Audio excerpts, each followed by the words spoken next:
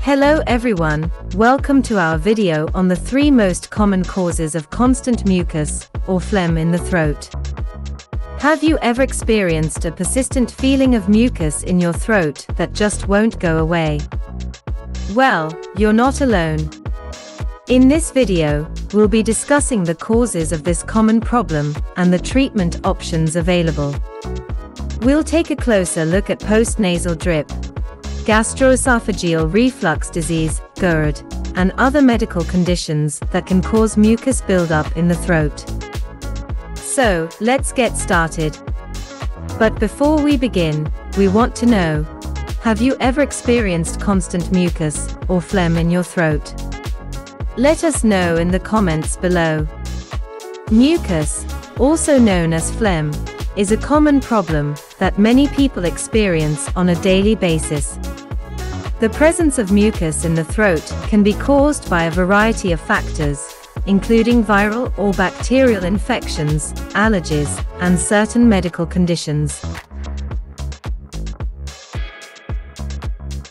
In this article, we will explore the three most common causes of constant mucus in the throat and discuss possible treatment options. 1. Postnasal drip. One of the most common causes of constant mucus in the throat is postnasal drip.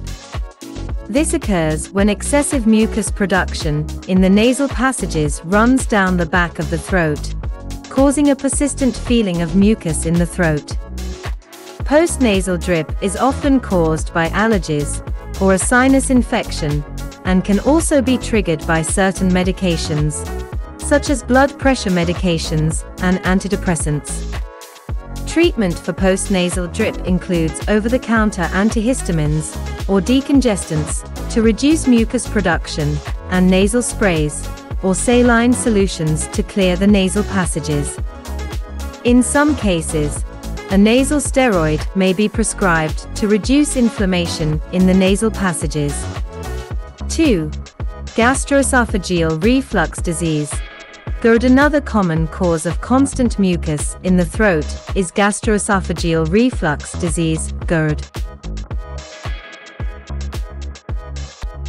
This condition occurs when stomach acid and food flow back up into the esophagus, causing irritation and inflammation. This can lead to the sensation of mucus in the throat, as well as other symptoms such as heartburn and difficulty swallowing. Treatment for GERD includes lifestyle changes, such as avoiding foods that trigger symptoms and eating smaller, more frequent meals. Medications such as proton pump inhibitors and H2 receptor antagonists can also be prescribed to reduce stomach acid production. In some cases, surgery may be necessary to repair the lower esophageal sphincter and prevent stomach acid from flowing back. 3. Chronic obstructive pulmonary disease. COPD Chronic obstructive pulmonary disease, COPD, is a lung condition that makes it difficult to breathe.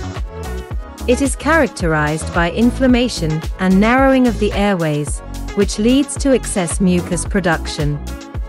This can cause a persistent feeling of mucus in the throat and difficulty breathing.